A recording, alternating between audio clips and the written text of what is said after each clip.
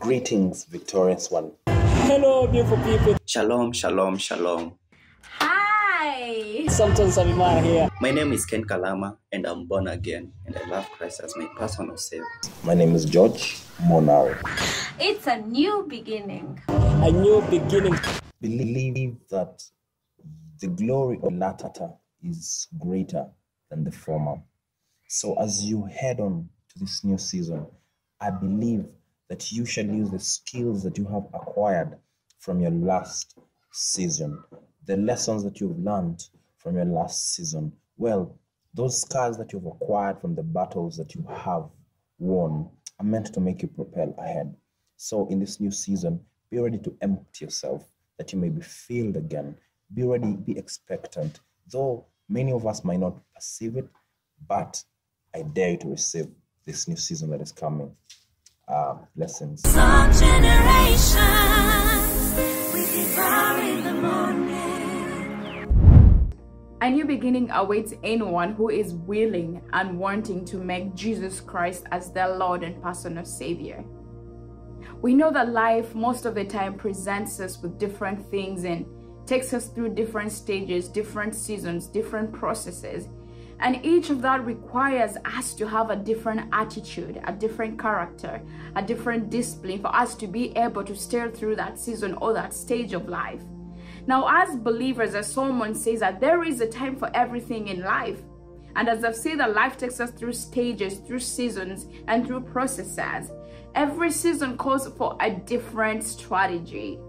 And we see that life always has the past, has the present, and has the future. But in your life, you decide where you want to dwell. You can either decide to dwell in your past, you can either decide to dwell on your now, or you can either decide to dwell on your future.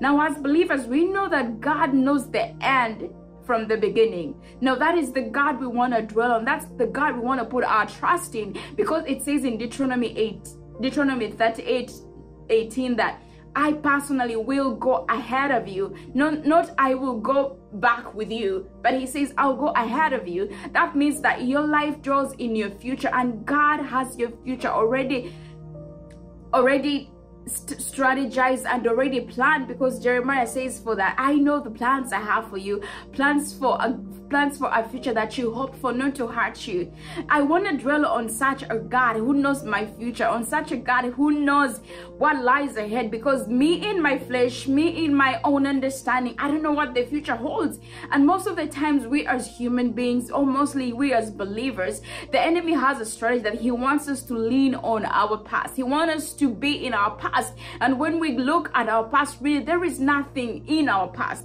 But rather, we look at the mistakes we made. We look at what we missed. We look at what went wrong. But rather, God is saying, Hey, behold, I make all things new. I don't want you to dwell on your past because I'm not a God of the past. I don't remember your past. I want you to look at the future. The future, that's where I dwell. I dwell in you now. You know, most of the times when we see in the Bible, the children of Israel, for example, they would have their journey to the promised land would have been a shorter one, but they kept dwelling on their past. They kept complaining, they kept whining, and they kept wanting to go back to their past. That's why they spent a long time in the wilderness. But the promised land was already at hand. If they could only not focus on the past, they would have made it there in a shorter journey. And what am I calling us here, us to here as believers, as people who believe in a God who's a God, who's omniscient, who's omnipresent, a God who's always there, a God who doesn't dwell on our past, but rather he sees what lies ahead of us. The enemy will always try to fight you from seeing what God has prepared ahead of you. And that's why you have to face battles, you have to face setbacks, but rather you have to keep an attitude. You have to keep a mind that you know what? I know a God who has already gone ahead of me, and I know He's a God who makes all things new. He said at the cross, Hey, behold, I make all things new when He shed the blood on the cross. That was our first victory right there because His blood washes us clean, His blood purifies us, and His blood makes all things new. He cleanses, He purifies, and whatever season you're you're at in your life, I want you to know that God can make everything new. When you surrender to Him, when you trust Him and tell Him, God, I believe in you. God, I trust in you because you are a God who makes all things new. Things that I cannot, things that I've tried on my own, things that I've been trying to get rid of, things that I am not aware. Maybe you're in a season of uncertainty, a season of not knowing, a season of waiting. It is a tough season to be in, but you know what?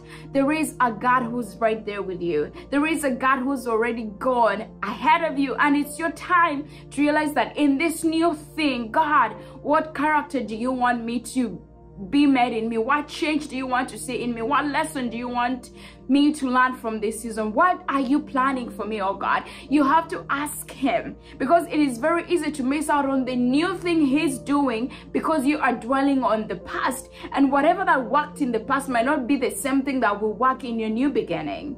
Because you know what? Your past might have required you to have a different attitude. Your past might have required you to do things differently. Your past might have required you to avoid certain things. Your past might have required you to face things in an aggressive way. But rather, this season is calling you to have rest in me. Because peace I live with you, not the peace that this world gives. God says, I will give you rest in this new beginning, we know that He's a God who gives us rest. And whatever God has ordained to be in your life in this new season, it is a new thing that brings peace, that brings rest. And God cannot lead you where He cannot provide for you. And you have to realize that each and every day, asking God, God, I surrender to you. God, everything to you, I give to you. Because there is no way He's going to force Himself in your life. There is no way He's going to force you to do things that you don't want to do. God works with the person who is in a posture of surrender, in a posture of letting Him take control rather than you taking control. You might have tried to control things in your life, but God is saying, Hey, I am in control here. All you have to do is to trust me, is just trust me. Because I am a God who's able, who is able to give you all that you need. I'm a God who can make a way in the wilderness, and I'm a God who can make a way there seems to be no way. I am a God who can make everything, everything brand new, everything brand new, everything more and more than you've ever even imagined imagined in your life. Because Isaiah says, Behold, I'm doing a new thing. Can't you see? Can you perceive it? You gotta be able to see. You have to pray to God. God, give me the eyes to see. Give me the ears to hear what you are trying to stir in me, what you are trying to do in me in this new season. I believe that you might have had tough seasons in the past. You might have gone through things that are challenging, things that have broken your heart, things that have left you wondering, is this even God? Is he even seeing? Is he even caring enough? All I want you to know is that He's a God who knows you. He's a God who knows you by name, and He has only good plans for your life plans that will work according to his will not your will and according to his purpose not your own purpose. Because it's only his will that will come true. Whatever is in your own will that will only lead for, to frustrations. But rather when you surrender to him and say god it's only you. It's only you that i'm trusting oh god. It's only you that i need that i need your spirit to help me cultivate through this season of life. And i need you to help me to bear the fruit that you want me to bear in this season of my life because in every season god wants you to bear a certain fruit. Maybe it's patience maybe it's perseverance maybe it's love maybe it's joy maybe it's enduring you know. All these seasons in life we need them because we know that everything works together for the good of those who love the Lord and according to his will and purpose. He's a gracious God. He's a merciful God. He's a God who sees you. And I want you to know that he has not forgotten about you because he says, I'll never forsake you. And those who trust me shall never lack any good thing. And those who seek me shall find me. And those who dwell on me and those who seek for me, they will find me. I want you to take courage today knowing that God is for you and not against you. And he says, Behold, I am making a new thing. I am making a new thing. Can't you see it? Can't you perceive it? Because he's a God who does not remember your past but rather he's pointing you to the future in the future where he has already gone ahead of you because he says i know the hairs on your head. I know everything about you. I know all the i orchestrated i orchestrated all the days in your life. And you are my child and i call you as my own. And behold when you walk with me when you trust me i guarantee you that i will never fail you and i'll never shame you and i'll never disappoint you. But just look at the new thing I'm doing in your life. Don't allow the enemy to give you those whispers from your past that whatever happened, but rather look at a God who's saying, I have already gone ahead of you and embrace this new season with joy, with thanksgiving, with praise, and saying, God, I trust you. I don't know the hows, I don't know the whens, I don't know the whys. I have no answers to any questions, but I trust you, a God who knows all the answers and who has a good plan for my life.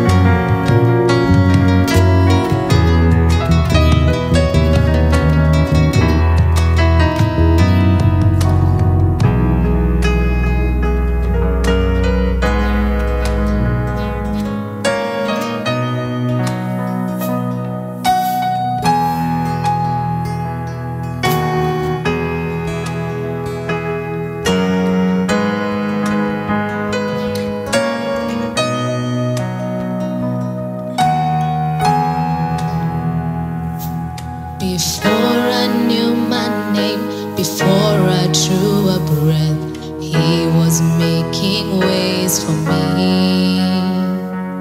Now and every day, in each and every step, He's still making ways for me.